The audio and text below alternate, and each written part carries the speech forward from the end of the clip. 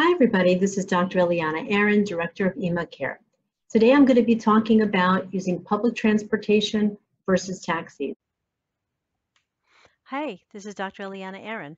Before I begin, we are hosting a Zoom conference this Sunday at 10 a.m. Eastern Standard Time for parents of Israel Gap Year students who have pre-existing medical conditions.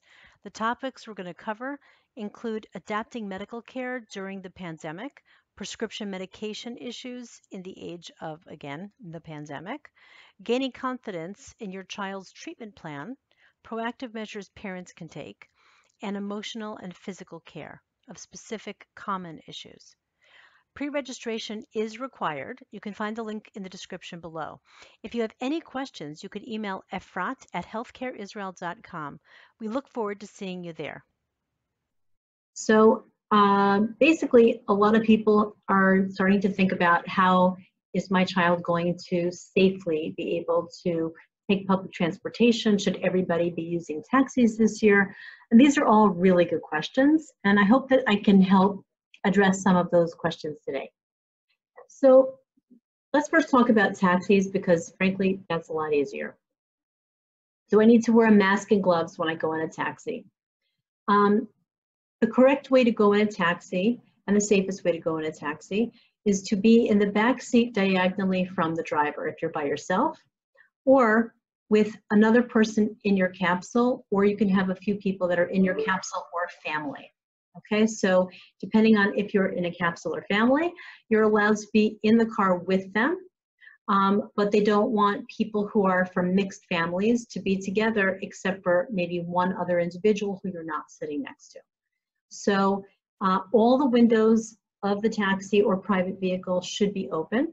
They don't have to be this much open, but they do have to be a little bit open to allow for fresh air to circulate. And you know, if you only open one side of the, um, like if you just open the window next to you but not another one, there won't be any crosswind. So it is important to open that.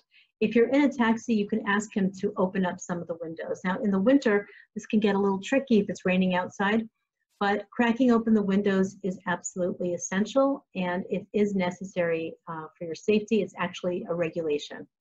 So they should be willing and able to open some windows. It doesn't have to be full, but it does have to be, like I said, open to crack. You need to wear a mask and gloves. You absolutely need to wear a mask covering your nose and mouth. The driver should also be covering his nose and his mouth. If not, then you can ask them to. You know, if his mask is here, you can say, excuse me, can you please cover your nose also? Because the nose is a source of uh, contagion and spread from uh, when you're not covering it.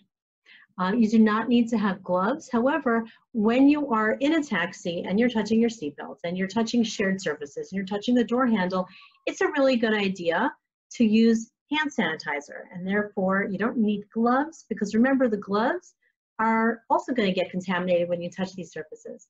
So it doesn't matter if you're wearing gloves or if you just have your hands. The most important thing is to sanitize your hands um, after you touch these shared surfaces. So when you get in a taxi, you close the door behind you, which means you're touching the door. You click your seatbelts on, you tell them where you want to go, and, and then you take your hand sanitizer out and you go ahead and you sanitize your hands before you touch your phone. Remember, almost everybody in a taxi is on their phone, um, you know, or talking to people, whatever you're doing on your phone, don't touch your phone until you've sanitized your hands. Um, safest place to sit, like I said, diagonal in the back seat um, is the safest place. Um, I do not recommend this year that people use cash for anything that they don't have to.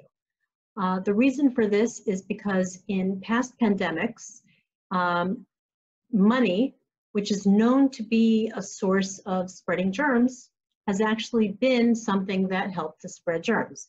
So I don't recommend that people uh, do that. I think that uh, using taxis where you could pay by credit card is best. In Israel, that is a get taxi. There is no Uber here. And a get taxi is uh, you can order your taxi, you can open an account with your credit card, you can even leave a tip if you want to, but in Israel you don't need to leave a tip for a taxi. So that's very important. Uh, so I don't love the idea of, of anybody really using uh, cash. Obviously, if you're on the street, you can't order a get taxi. I find personally that when I'm in the old city, you can't get a get taxi. You have to just flag somebody down. And in that case, you do have to pay in cash because uh, there isn't another way to pay them. So in those cases, you do have to have cash. If he gives you change, you can take the change. You could put it with your other change you have to assume that all money is potentially contaminated. Um, there have been studies that have shown that money has actually um, tested positive for all kinds of lovely bacteria. This is not during a pandemic, um, but you know, I consider money to be dirty, which it is. So um, that's what I recommend. If you go into a store, I'm just gonna uh, sidetrack this for one second. If you go into a store, see I'm using alcohol wipes, okay? And if you go into a store, what you basically are using is your uh, credit card. And after you use your credit card, remember it's going through a machine that's had everyone else's credit card. There are some where you just put it on the screen. I know in America they've had these for quite a while. In Israel, this is relatively new, so not too many stores have that, where you don't have to give your credit card to anybody else. But if you have to hand your credit card to someone else, or it has to be sli sliding through a machine, I take this and I put it in a separate outside pocket of my pocketbook. And then when I get home, I take all the credit cards that I've used and I go ahead and I just wipe them down, including the edges, okay? And while I'm doing that, I'm trying not to handle the non, this is now clean because I just wiped it, but I try to clean like this, and then I can touch the area that I cleaned, and then I go ahead and I clean the rest. I let it dry and then I can put it back um, with my other um, credit cards. And that way the credit cards that when you're handling them stay clean because this is 70% alcohol so it's going to um, kill any germs that are on there. Um, should we wipe down door handles? Again, you could go crazy wiping down every public surface you ever touch it's not going to be very useful because it's everything and you can't go around cleaning all of Israel. So um, as long as you clean your hands afterwards, and I recommend everyone carry a little bottle of alcohol gel, 70%, and go ahead and use it and make sure you're using it properly, that you're getting between your fingers, that you're getting on top, that you're um, doing it properly and using the correct amount and make sure it's full, you know, because you run out and say, shoot, I ran out in the middle of the day. So you can handle a door handle um, and then clean your hands. Again, that's just part of life now. Um, now I'm gonna get to bus safety. Um, should you wipe down your Rav-Kav? Again, anything that belongs in your pocketbook that you are swiping in a machine where other people have swiped their things should be wiped down. And I have an outside pocket in my pocketbook where I put it. So for someone who doesn't have a pocketbook, for a, a, a student or a, a man who doesn't carry a pocketbook, I wouldn't put it back in my wallet. I'd put it in my pocket perhaps until I have a chance to wipe it down. So I think that having a few of these in a small Ziploc bag that's sealed is a good way to just have this and to be able to go ahead and use it so you could immediately return it to your uh, wallet. Um, where's the safest place to sit? So um, if I need to stand on a bus and I need to hold a handle, is that safe? So it's the same thing as all of these shared surfaces. It, it assume everything you touch in a public uh, area is potentially contaminated, right? Which means if I'm touching, if I'm holding the handle on top, I don't want, don't be on your phone. You know, in between stops, don't start doing this on your phone because your hand is not clean.